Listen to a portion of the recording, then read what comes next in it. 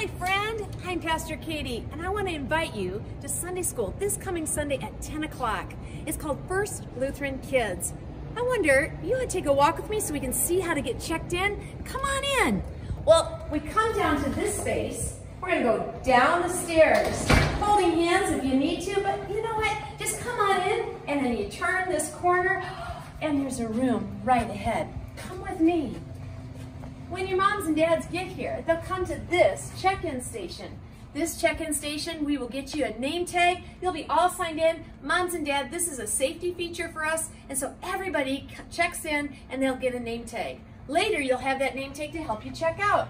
Come on in, because you know what? We're gonna start here. We're gonna have a party while we're here.